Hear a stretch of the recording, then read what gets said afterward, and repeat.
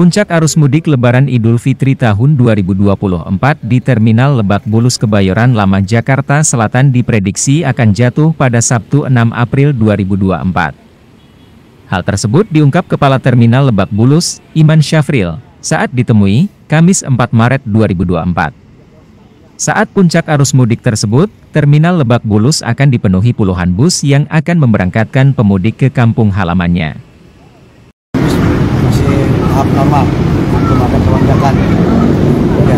kalau harus mudik sendiri diperkirakan kapan sih pak di terminal Bulus untuk jadwal kegiatan uh, arus mudik angkutan lebaran di terminal Lebak Bulus mulai uh, tanggal 3 April sampai dengan tanggal 18 April 2024 jadi Amin 7 3 April dan sampai dengan plus 7 ya. nah puncaknya itu kapan Pak?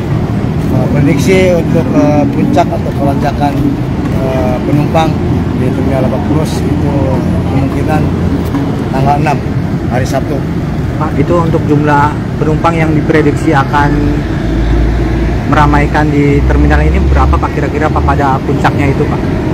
Ya, untuk uh, puncaknya itu nanti kemungkinan bisa mencapai uh, perharinya kendaraan itu bisa mencapai 40 bis per hari dan penumpang sekitar uh, antara 300 penumpang per hari puncaknya itu. Biasanya kalau normal itu sekitar 150 ya itu kemudian pas puncaknya itu ya kenaikannya itu ada 300 penumpang per hari. Demikian. Memang kenapa hari Sabtu itu uh, bisa dikatakan sebagai puncak arus uh, mudik Pak? Karena hari Sabtu itu sudah diberlakukannya cuti bersama. Dari cuti bersama itu uh, dari 6 sampai dengan 6 18 pertama uh, dia bilang itu bersama demikian prediksinya. Ada ramcek gitu masih bang? oh untuk ramcek dari awal tanggal 3 sudah dilaksanakan ramcek uh, tes kesehatan dan dilaksanakan. Dan sampai dengan tes urin juga sudah Per hari ini Pak untuk uh, supir yang uh, dites kesehatan itu ada berapa supir Pak? Tes urin? Untuk uh, tes urin hari ini uh, tadi saya lihat di Tabia mungkin kalau lihat itu pasang sekitar uh, ada lima pengemudi tadi. Lima pengemudi. Berarti tiap hari itu awak awak bus itu selalu dilakukan pengecekan kesehatannya ya, Pak? Jadi sebelum berangkatan pengemudi dicek uh, kesehatannya uh, tes uh, kesehatan, tes urin dan uh, kendaraan pun di cek tes juga kelaikan. Sejauh ini lima pengemudi itu masih eh, negatif Pak, dinyatakan negatif. Alhamdulillah sampai saat ini masih negatif. Pak, untuk bus sendiri Pak, adakah yang dinyatakan tidak layak jalan gitu Pak?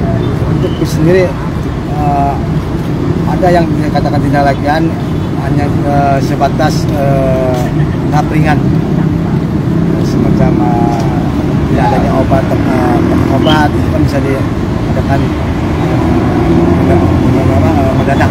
Kalau untuk tahap uh, berat tidak ada. Secara teknis. Pak soal kenaikan harga tiket nih Pak dari pihak Disub atau dari pengelola sendiri akan melakukan pengawasan juga nggak Pak? Kalau, kalau dari kenaikan apa tarif dari ya. pihak pemerintah ya, itu ada pengawasan juga sepanjang sekarang ini kan diserahkan ke pasar masing-masing ya.